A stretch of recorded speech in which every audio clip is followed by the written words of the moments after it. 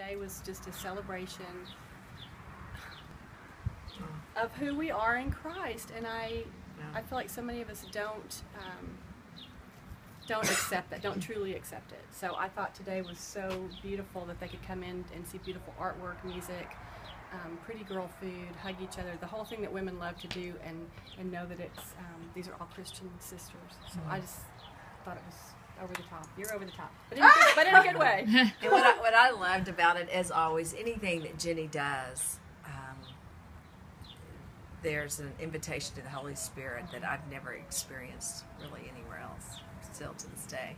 So I think the presentation just had the Holy Spirit all over it.